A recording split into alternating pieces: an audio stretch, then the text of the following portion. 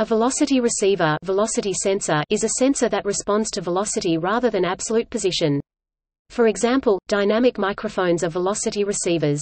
Likewise, many electronic keyboards used for music are velocity sensitive, and may be said to possess a velocity receiver in each key. Most of these function by measuring the time difference between switch closures at two different positions along the travel of each key.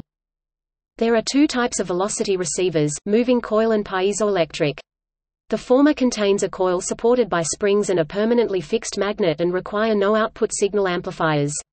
Movement causes the coil to move relative to the magnet, which in turn generates a voltage that is proportional to the velocity of that movement. Piezoelectric sensor velocity receivers are similar to a piezoelectric accelerometer, except that the output of the device is proportional to the velocity of the transducer.